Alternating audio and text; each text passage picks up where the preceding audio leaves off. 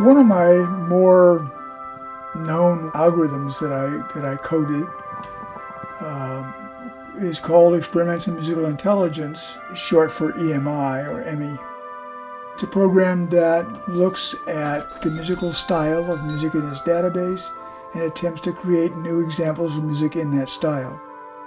So in other words, you put in Bach chorales and you get something that sounds like and looks like and acts like Bach.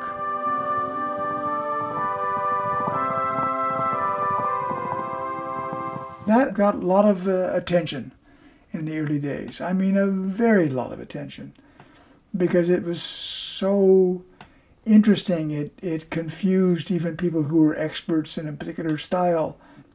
And words like soul started being thrown at me.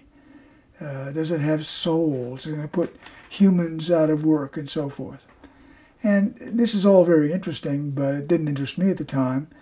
And so I usually try to get out of it. I've since found some interesting answers to those questions, most of which regard, you know, it, it isn't going to put musicians out of work. Um, it's, it's not an either or situation, it's a both and situation. If you like, I mean, you can like both, and it's just fine. Or you can like one or like the other. It's your choice after all. And where the soul is, is anybody's guess. I don't, frankly, know what a soul is. But even if I did, I would guess that that uh, when I look at a sheet of music and I look for the soul that's in there, I don't see anything. I see a bunch of black dots and circles and filled in circles and stuff known as music notation. I don't see any soul between those things.